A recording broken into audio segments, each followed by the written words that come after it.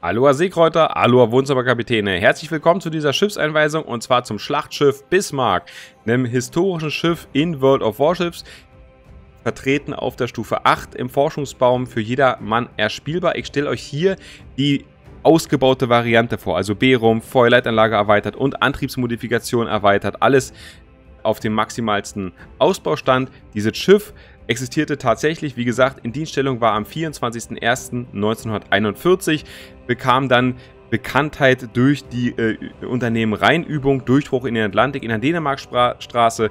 Da wurde die Hood versenkt und die Prince of Wales äh, schwer beschädigt. Äh, des Weiteren nahm dann die britische Marine quasi die Verfolgung zu, von diesem Schlachtschiff eben auf. Äh, die Bismarck konnte den Verfolgern sogar entkommen. Nur durch einen Funkspruch wurde die Bismarck quasi wiederentdeckt, weil sie angepeilt werden konnte.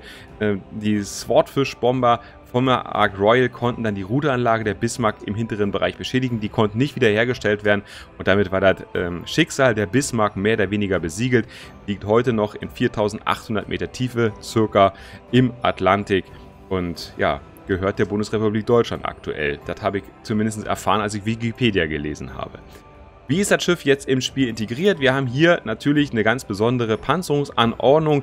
Äh, das ist eine der Stärken der Deutschen. Wir haben nur ganz wenige Bereiche, die 32 mm Panzerung haben, nämlich vorne und hinten eben. Hier vorne ist noch ein Panzergürtel eingezogen mit 60 mm, die die Zitadelle einen Ticken schützen soll. Äh, allgemein sind die 32 mm nur mit AP-Munition overmatchbar ab 460 mm Kaliber. Das heißt, Yamato, Musashi und eben Shikishima, wenn sie irgendwann mal ins Spiel kommen sollte, könnten da jetzt ohne weiteres eben durchschießen. Dann ist es natürlich eine extreme HE-Anfälligkeit, die 32 mm. Jedes Schiff, was irgendwie 32 mm penetriert, ist dann ja eine potenzielle Gefahr, weil halt immer wieder Schaden in dieser Sektion gemacht wird. Die deutschen Kreuzer können euch eben auch entsprechend beschießen weil sie eine erhöhte Penetration haben. Dann kommen wir schon zum Deck. Da ist die nächste kleine Schwäche, wenn man dazu sagen will, aber vielleicht auch eine größere Schwäche. Wir haben hier nur eine Deckspanzerung von 50 mm und ich sage jetzt nur, das Deck an sich ist relativ stark gepanzert, auch im Vergleich zu anderen Nationen. Das Problem ist nur, dass darunter eben nichts mehr kommt. Bei vielen anderen Nationen ist hier noch ein Zwischendeck eingeflochten, bevor es zur Zitadelle geht. Das ist hier eben nicht der Fall. Wir haben hier dann 100 respektive 80 mm. Das ist ja nochmal mit den Aufbauten besonders geschützt. Ja, also kommen wir am Ende so auf ungefähr 149 bis 150 mm Panzerung, wenn wir jetzt einfach das Deck mit draufrechnen als Panzerung sozusagen. Und das ist relativ dünn in Summe. Es gibt Schiffe, die sind deutlich besser gepanzert, zumindest äh, von oben gesehen, ja. Von der Seite, da sieht das nämlich alles schon wieder ganz anders aus und da haben wir also eine richtig gute Stärke der deutschen Schiffe und zwar die Turtleback-Panzerung. Wir haben hier außen an den Kasematten 320 mm, im Innenbereich dann 120 bei diesem Überhang. Das ist natürlich an beiden Seiten gleich, auch da sind es 120 mm. Und dann haben wir an der Seite in der Zitadelle 45 mm, was die Bismarck mit 485 mm panzert im Optimalfall. Und das ist wirklich ne, ja, was ganz Besonderes ne? und sorgt eben dafür, dass die Bismarck kaum für horizontalen Beschuss verwundbar ist, gerade eben von der Seite. Ne? Ja, und das war's, was wir zur Panzerung sagen können. Und ich schicke euch jetzt direkt ins Gameplay und erzähle euch dann so ein bisschen was zu den Werten im Vergleich, so wie ihr das hier auf dem Kanal bei uns gewohnt seid. Das Gameplay, was ihr jetzt seht, das ist von meiner Frau Rania83, die da mit ihrer Bismarck unterwegs war. Gibt eine kleine Diskrepanz. Die Sekundärreichweite 10,8 Kilometer ist da angegeben. Die hat die Sekundärflagge nicht mit dabei gehabt, deswegen ist da so ein Unterschied eben wahrzunehmen. Und nun kommen wir zu den Werten bei der Bismarck. Fangen wir mit der Überlebensfähigkeit an, wie sie dazu schön gehört. Wir haben hier 69.200 Trefferpunkte zu Buche stehen. Das bringt uns auf Platz 4 der äh, ganzen Schlachtschiffe, die wir hier vergleichen. Ich habe hier im Vergleich jetzt mit allen verfügbaren Schlachtschiffen auf der Stufe 8, die bereits im Spiel integriert sind, parat. Und besser bei den Trefferpunkten ist in dem Fall nur die Vanguard und äh, die Vladivostok sowie die Tierpitz. Die hat nämlich 100 Trefferpunkte mehr. Bei der Torpedo-Schadensverringerung, da sind wir leider am unteren Ende der Nahrungskette angelangt. Da ist nur die Vladivostok schlechter mit 1%. Die hat nämlich 21%, während wir hier halt 22% haben. Das beste Schiff auf der Stufe ist die Alabama mit 49%. Es gibt eben auch viele weitere Schiffe, die paar Prozent mehr haben an der Torpedo-Schadensverringerung. Dann kommen wir schon zur Artillerie, die hier eine relativ wichtige Rolle spielt bei der Bismarck. Wir haben hier eine sehr hervorragende Ladezeit von nur 26 Sekunden der Hauptbatteriegeschütze. Die Turmdrehdauer 180 Grad, 36 Sekunden ist à la Bonheur. Es gibt Schiffe, die sind schneller, aber es gibt auch Schiffe, die sind langsamer. Also wir sind so im vorderen Mittelfeld, Mittelfeldbereich. So in dem Bereich kann man uns einsiedeln. Die Roma dreht die Türme schneller, die Lenin dreht sie schneller. Langsamer ist zum Beispiel die Ki, Amagi, Vladivostok und Monarch. Die maximale Streuung ist mit 272 Meter angegeben. Sigma-Wert bei diesem Schiff ist 1.8. Und das bringt uns jetzt eigentlich zu dem Punkt, der bei der Bismarck immer wieder auftritt. Und das muss man einfach so sagen. Die deutschen Schiffe sind nicht die genauesten in World of Warships. Das ist auch in World of Warships so vor, ja, programmiert, wenn man dazu sagen möchte, so vorgesehen. Die Schiffe, der Deutschen sollen nämlich hauptsächlich auf Kurz- und Mittelstrecke eingesetzt werden. Also ab 12, 13 Kilometer, da fangen die Deutschen an, richtig Spaß zu machen. Und deswegen empfehle ich ja zum Beispiel auch, wenn wir uns überhaupt für ein Sekundärbild interessieren, dann macht er auf den deutschen Schiffen am meisten Sinn in Verbindung mit der guten Panzerung und äh, der guten Sekundärreichweite mit dem hohen Penetrationswert der Sekundär, die ja jetzt vor kurzem hier nochmal eine Verbesserung erlebt haben. Bei der äh, Sprenggranate haben wir 4400 Alpha Damage. Das ist ein sehr, sehr niedriger Wert, der schlechteste Wert für T8 Schlachtschiffe. Dafür haben wir aber wieder den üblichen hohen Penetrationswert, ein Viertel Penetration bei der HE-Granate mit 95 mm. Äh, eine der höchsten Werte. Da kann dann halt nur die Vanguard und die Monarch mithalten. Das ist so typisch britisch. Die haben auch ein Viertel Penetration. Alle anderen Schlachtschiffe sind einfach schlechter. Brandwahrscheinlichkeit hier 34 Prozent. Ähm, das heißt, ich habe sie gar nicht verbessert. Weder mit Signalflaggen noch mit dem Sprengmeister oder so. Das, äh, ja, HE, der Pennwert, der ist wichtig. Äh, das macht auch durchaus Spaß, gerade auf angewinkelte Schiffe, die spitz zu einem stehen, kann man mit der Bismarck gut mal mit HE draufschießen. Das würde ich auch von der Sache empfehlen, weil 380er hier die AP-Munition durchaus schnell mal zu abprallern oder eben ähm, ja nicht Penetration einfach führt ähm, aufgrund äh, der Eigenschaften der Granate bei AP. Deswegen HE kann man schon mal benutzen, aber es sollte dann halt die Hauptbewaffnung der Schlachtschiffe ist AP bei der Hauptbatterie. Ne? Also das muss man trotz alledem sagen. Ne? Das Wechseln der Granate ist eben aber trotzdem entscheidend, um seinen Schaden zu maximieren. Weiter geht es dann schon mit der AP-Granate. Die hat hier 11.600 Trefferpunkte zu Buche stehen. Auch das ist hier kein Spitzenwert, sondern eigentlich auch wieder der schlechteste Wert vom Alpha-Damage der AP-Granate her muss das aber ein bisschen relativieren. Dafür haben wir eine sehr kurze Ladezeit, also deutlich kürzere Ladezeit als andere Schiffe. Ja, äh, gegenüber den russischen Schiffen haben wir einen Vorteil von 7 Sekunden. Ja, und auch die Gascon oder Richelieu, da sind wir 2 äh, bis 4 Sekunden schneller von der Ladung. Und das macht halt über das Spiel dann eben den Unterschied halt auch teilweise wieder aus. Das muss man jetzt einen Ticken ausgleichen. Wir haben hier eine Penetrationsfähigkeit von 391 mm auf 20 Kilometer. Auf 15 Kilometer sind es 457 mm und auf 10 Kilometer 544 mm. Auch da muss man sagen, die Penetrationsfähigkeit der AP-Granate, der Bismarck, aber auch eben der Tierpitz ist nicht gerade besonders hervorragend. Wir bewegen uns da auch eher am unteren Ende des Mittelfelds äh, von der Durchschlagsstärke. Da sind sogar die französischen AP-Granaten eben besser. Die haben nicht nur einen höheren Alpha-Damage, sondern kommen auch besser durch die Panzerung durch. Ähm, dann geht es eigentlich weiter. Wir haben hier Standard-Abprallwinkel 0 bis 30 Grad, keine Penetration möglich, es sei denn ihr overmatcht. Das heißt, overmatchen würdet ihr alle Schiffe, die 27 mm Panzerung haben oder weniger. Ne? Da wird ja die Panzerung von eurer Granate ignoriert. Das heißt, sie fliegt direkt durch in die nächste Sektion sozusagen und macht da dann hoffentlich dementsprechend Schaden. 30 bis 45 Grad sind dann, gibt es ja eben die Chance auf Penetration oder eben Abpraller und ab 45 Grad findet dann die Penetrationsberechnung eben statt. Und Ihr müsst mindestens 63 mm Panzerung mit eurer AP-Granate durchschlagen und dann löst der Zündverzögerer von 0,033 Millisekunden aus. Wenn ihr die Panzerung berührt und eine Penetration stattfindet, dann verbessert die Granate ihren Winkel um 6 Grad. Man spricht davon Normalisierung. Ja, und das ist eben ein standardisierter Wert hier für diese, äh, für diese Kaliber. Und das ist zu eurem Vorteil. Der Weg durch die Panzerung wird quasi kürzer. Ja? So muss man sich das vorstellen. Die Mündungsgeschwindigkeiten für HE und AP-Granaten sind hier übrigens identisch mit 820 Meter die Sekunde.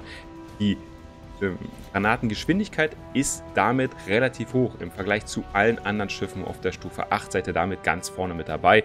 Und auch eure maximale Kampfentfernung mit 21,2 Kilometer ist relativ gut im Verhältnis zu anderen T8 Schlachtschiffen. Reichweite ist aber, wie gesagt, relativ, dadurch, dass die Bismarck relativ ungenau ist, viele deutsche Schiffe ähm, würde ich nicht unbedingt auf 21,2 Kilometer schon das Feuer öffnen, bloß weil ich einen Gegner am Horizont bei der Bismarck gibt es aber nicht nur die Hauptbatterie, sondern eben auch die Sekundärgeschütze, die ich euch nebenbei eingeblendet habe. Ihr könnt die ausbauen bis auf 11,3 Kilometer und ähm, ja, ihr habt eine sehr hohe Penetration, weil eben auch hier die Sekundärgeschütze seit kurzem jetzt ein Viertel Penetration bekommen haben. 26 mm Panzerung mit den 105ern und mit den 150 mm sogar 38 mm Panzerung. Da könntet ihr sogar T10 Schlachtschiffe der Amerikaner durchs Deck penetrieren. Also das ist wirklich schon eine äh, ganz respektable Sache und deswegen äh, ist das auch für mich immer nochmal der Fakt, die einzigen Schiffe, die sich wirklich lohnen, sekundär auszurichten, ohne dass man da zusätzlich nochmal IFAE skillen muss. Spätestens jetzt, wo äh, da 50% Brandwahrscheinlichkeit verloren geht und so eine ganzen Geschichten, ähm, macht es eigentlich bei den Deutschen durch die hohe äh, Penetration eben und die hohe Reichweite kombiniert mit der tollen Panzerung, die er benötigt, um eben vorne einigermaßen länger überleben zu können. Die Franzosen haben auch eine sek gute Sekundärreichweite, aber haben eine verhältnismäßig dünne, weiche Panzerung, überzogen mit komplett 32 mm und so weiter. Also das ist das Problem. Weiter geht es dann mit der Flugabwehr. Auch da muss man leider sagen, ist die Bismarck leider nicht das stärkste Schiff, auch eher am unteren Ende oder hinteren Mittelfeld angesiedelt von, äh, von der äh, Flak-Effizienz. Wir haben hier nur 5,2 Kilometer Reichweite, eingeteilt in Kurz-, Mittel- Langstrecke. Die Werte seht ihr gerade eingeblendet. Ja, das ist halt, naja, ein bisschen schade. Wir haben hier einen Wert von 303, das ist halt wirklich viel als äh, kontinuierlicher Schaden durchschnittlich über alle Flugabwehrsektoren gerechnet. Ja, Granatenexplosion 7, auch in dem Bereich halt von 5,2 bis 3,5 Kilometer. Ihr holt die Flieger nicht runter, bevor sie nicht die Torpedos im Wasser haben. Das ist so meine Erfahrung, die ich in den Gefechten ja, so gesammelt habe. Bei der Manövrierbarkeit haben wir 32,6 Knoten zu bestehen. Damit sind wir eines der schnellsten Schlachtschiffe auf der Stufe. Besser sind nur die Franzosen, ja, Gascon und Richelieu. Und wir sind sogar einen halben Knoten schneller als unsere Tirpitz, das Schwesterschiff der Bismarck, welches auch im Spiel verfügbar ist. Wendekreisradius 850 Meter und 16 Sekunden Ruderstellzeit. Das ist wiederum eher das hintere Mittelfeld. Es gibt einige Schiffe, die besser und sportlicher sind in Sachen Wendung, auch wenn es teilweise nur um 10 Meter sind oder wenn es um eine Sekunde geht. Aber äh, nichtsdestotrotz sortiert uns das vom Ranking eher ins hintere Mittelfeld ein. Bei der Erkennbarkeit ist es leider genauso. Auch da sind wir nicht sonderlich weit vorne. Geht teilweise nur um ein paar hundert Meter. Aber ähm, da sind wir auch eher im hinteren Mittelfeld angekommen. Ja, Erkennbarkeit zur Luft 10,6, Erkennbarkeit zu Wasser hier in meiner Version 14,3.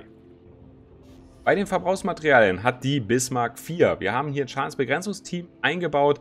15 Sekunden Wirkungsdauer, 76 Sekunden ist die Ladezeit. Das ist unbegrenzt verfügbar. Bei der Reparaturmannschaft haben wir hier in Slot 2 415 Trefferpunkte, die pro Sekunde wiederhergestellt werden. Das dauert alles 28 Sekunden, also könnt ihr über 11.500 Trefferpunkte potenziell wiederherstellen. Fünf Aufladungen mit der Inspekteurskillung. Dann haben wir in Slot 3, habe ich mich hier für den Jäger entschieden. Da könnt ihr auch das Aufklärungsflugzeug nehmen. Allerdings macht das aus meiner Sicht gar keinen Sinn, weil ihr schon ewig weit schießt recht ungenau seid von der Streuung her. Von daher äh, macht der Jäger mehr Sinn, weil eure Flak eher schlecht ist. Die wollen wir ja dann vielleicht ein bisschen verbessern. Und in Slot 4 kommt die Besonderheit der Bismarck, das einzige Schlachtschiff der Stufe 8 mit hydroakustischer Suche. Torpedos werden dreieinhalb Kilometer aufgeklärt, Schiffe 5 Kilometer sogar. Manchmal hilft das durchaus. Ja, das auch gegen Schiffe einzusetzen. Und wir haben vier Aufladungen im Premium. In der Premium-Version ab Update 094 gibt es ja keine Premium-Verbrauchsmaterialien mehr. Dann werden die ähm, Werte der hydroakustischen Suche 2 quasi zu den Standardwerten und die ganze Geschichte wird kostenlos werden. Bei den Verbesserungen habe ich in Slot 1 eingebaut die Hauptbewaffnungsmodifikation 1. Ich möchte meine Hauptgeschütze schützen vor Ausfällen. Torpedowerfer werden auch noch geschützt, die hat die Bismarck allerdings nicht. Aber die Tirpitz hätte sie. Dafür hat die Tirpitz keine Hydroakustik. Ne? Also das sind diese Tauschdinger, die man da eingehen muss. Kommen wir zu Slot 2. Schadensbegrenzung Systemmodifikation 1, weniger Brandwahrscheinlichkeit und weniger Wassereinbruchswahrscheinlichkeit. In Slot 3 Durch den Sekundärbild habe ich mich hier für die Sekundärmodifikation entschieden. Mehr Reichweite und weniger Streuung der Sekundär. Ähm, dann haben wir in Slot 4 Schadensbegrenzung Systemmodifikation 2 einfach die Dauer äh, der Brände und die Dauer der Flutung wird um 15% reduziert und in Slot 5 habe ich mich für die Tarnsystemmodifikation trotz alledem entschieden und hier wird eben die Streuung der Gegnergranaten auch um 5% erhöht und meine Erkennbarkeit sinkt um 10%. Ganz wichtig erachte ich das auf jeden Fall, weil die Bismarck halt auch regelmäßig in T10 oder T9 Gefechte kommt. Und wenn du ein T10-Schiff bist, dann willst du zuerst das T8-Schiff beschießen, wenn es denn luxuriös vielleicht in der Breitseite auf 21 Kilometer fährt, wo ich aber so weit schießen kann. Präziser schieße, ist die Bismarck ein angenehmes Ziel. Deswegen suche ich mir eher die Möglichkeit als Bismarck-Fahrer möglichst lange getarnt zu bleiben. Also zumindest in dieser Version ist Tarnung die durchaus sinnvolle Variante. Und dann geht es weiter mit den Signalen. Ich gehe hier nur auf die Kampfsignale ein. Die obere Reihe links angefangen. Ich erhöhe den kontinuierlichen Flagschaden um 5% mit der November Echo Setter 7. Dann geht es weiter mit der Mike Yankee Soxy 6. Das ist die Flagge, die meiner Frau in ihrem Gameplay fehlt. Die Sekundärreichweite wird um 5% erhöht. Die Ladezeit wird verringert und die Streuung der Sekundärgranaten wird auch um 5% verringert. Dann habe ich noch Vorne geskillt Hotel Yankee, den Rammschaden an Gegner, dadurch, dass wir nahe zu Gegnern sind, durch die Sekundärskillung, kann auch mal schnell zum Kontakt kommen. Und so kann ihr vielleicht weiter im Gefecht bleiben, wenn der andere eben äh, versenkt wird durch euren Ramm. Dann geht es in der zweiten Reihe weiter. November Foxtrot, Verbrauchsmaterialien werden schneller parat gestellt, nämlich 5% schneller. Sierra Mike für mehr Höchstgeschwindigkeit des Schiffes. Und dann haben wir die drei typischen Flaggen fürs Überleben. India Delta, mehr Reparaturpunkte bei der Reparaturmannschaft, 20% nämlich mehr. Reparaturdauer des Wassereinbruchs wird um 20% reduziert mit der Yankee, äh, äh Julie Yankee Biso 2. Und die Zeit für die Brandbekämpfung wird auch um 20% re äh, reduziert mit der India Yankee Flagge. Nach den Signalen gucken wir uns noch die Tarnung an. Ihr habt hier, wenn ihr das Schiff gerade erst neu bekommen habt, die Möglichkeit halt 3000 Dublonen für eine Typ 18 Tarnung Bismarck auszugeben. Für alle älteren Hasen unter euch. Es gab in der Vergangenheit viele Events, wo ihr Typ 8 Tarnung oder P8-Tarnung bekommen konntet. Zum Beispiel hier vom Meeresgrund Bismarck und so eine ganze Geschichten oder an unsinkbarer Sam, da gab es auch eine Bismarck-Tarnung. Äh, dann gab es hier diese Halloween-Tarnung und so weiter. Also da gab es einige, die haben alle die gleichen Werte. Erkennbarkeit zu Wasser minus 3%, Streuung der Granaten plus 4%, also der gegnerischen Granaten natürlich. Schiffswartungskosten minus 10% und EP je Gefecht um 50% erhöht. Dann schauen wir uns den Kapitän an, den ich hier drauf habe. Das ist ein Mix-Skill, hatte ich ja von vornherein gesagt. Das ist nicht ganz sekundär, aber auch nicht ganz äh, überleben. Deswegen habe ich mich hier wie folgt entschieden. Vorrangiges Ziel, präventive Maßnahmen. Dann haben wir hier in Reihe 2 den Adrenalinrausch drin, in Reihe 3 den Inspekteur, um eben mehr Aufladung pro äh, Verbrauchsmaterial zu haben. Und in der vierten Reihe von oben gesehen habe ich mich dann für die verbesserte Schießausbildung entschieden, um eben bei den Sekundärgeschützen äh, mehr Reichweite zu bekommen, nämlich 20% mehr Reichweite. Und dann habe ich noch den Brandschutz dabei, Risiko des Brandes um 10% reduziert und die Anzahl der Feuerquellen auf dem Schiff wird von 4 auf 3 verringert. Das ist ganz wichtig. Und dann haben wir eben das manuelle Feuer in der Sekundärbewaffnung noch, was mir dann hier eine Streuungsreduzierung von 60% bei den Sekundärgranaten einbringt. Das ist halt eine ganze Menge. Und damit haben wir dann eigentlich die hohe Sekundärreichweite gepaart mit ein bisschen was an Überleben. Wir haben mehr Reparaturmannschaft parat und äh, eben halt die weniger Anzahl an Brände auf dem Schiff. Dann schauen wir uns das Pro und Contra bei diesem Schiff an.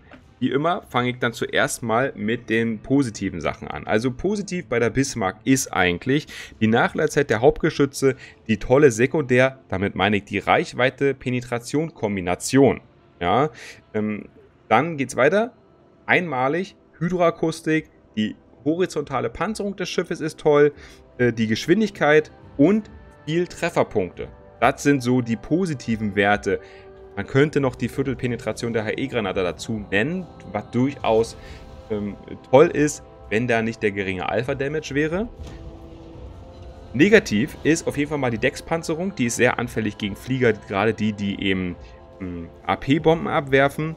Der geringe HE-Alpha-Damage, den ich eben schon genannt habe. Die unterdurchschnittliche Flugabwehr.